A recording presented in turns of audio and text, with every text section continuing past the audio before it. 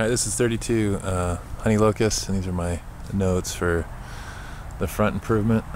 Um, could get the grass filled in a little bit more. That would be good.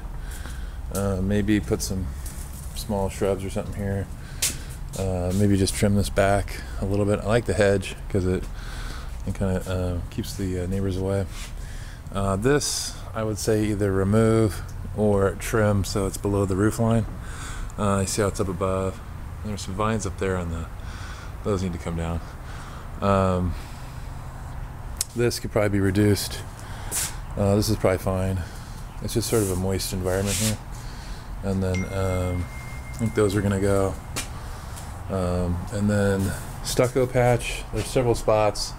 It's all this styrofoam area. So stucco patch here.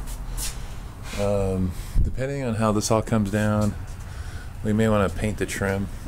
I think the the back seems to be okay, but the um, the trim, uh, some parts of it are faded, which happens with the darker colors. and then the front, again, maybe just a trim.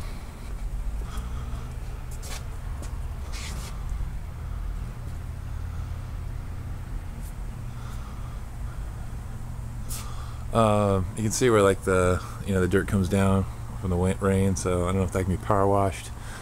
Um, and then I'm thinking maybe the wrought iron gets painted. Uh, trim maybe needs to be painted up here. And I don't know. Um, the garage, I like the green color. I don't know. It's lighter, it looks like, than the rest of the trim, but I wonder if that could be matched and match with the um, the door, the shutters, uh, etc. And then back here, uh, patching. And I took pictures of this. I'll send it to a stucco patch guy. Uh, so right here, patch, and then paint uh, along with the door. I would just have it match. And then um, same thing here.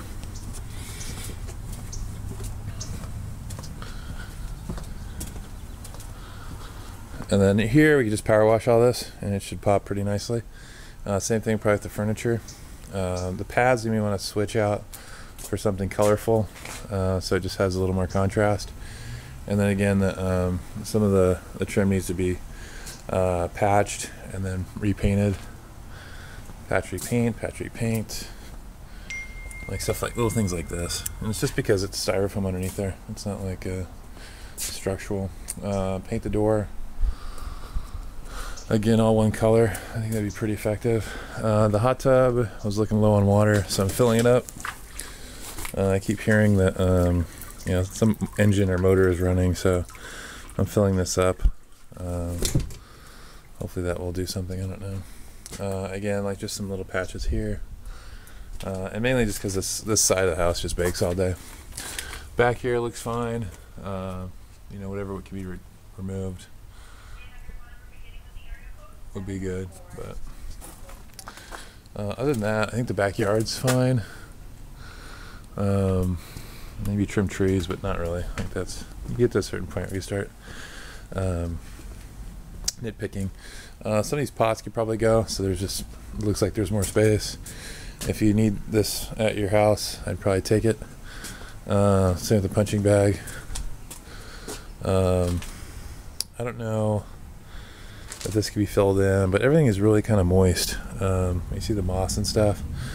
Uh, maybe that's over sprinkling or sprinkling too much, but um, um, maybe put some pots in, or some plants in there. So that's the exterior.